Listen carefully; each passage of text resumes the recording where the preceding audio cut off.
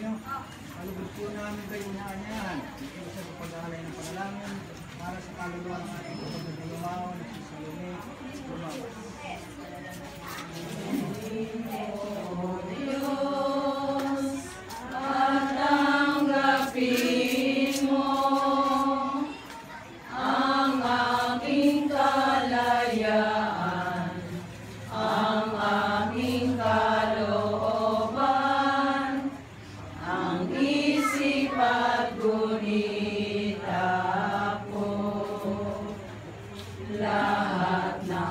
Power.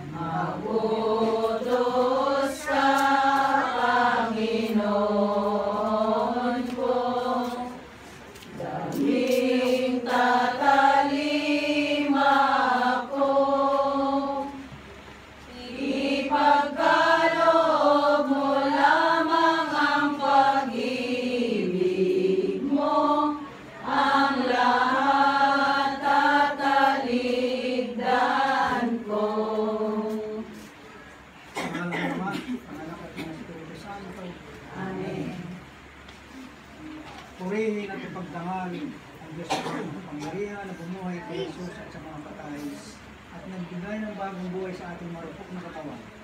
Purihin at ipagdangalin ngayon at magpakailanman. Purihin at ipagdangal ngayon at magpakailanman. Minsan lamang ako'y dapat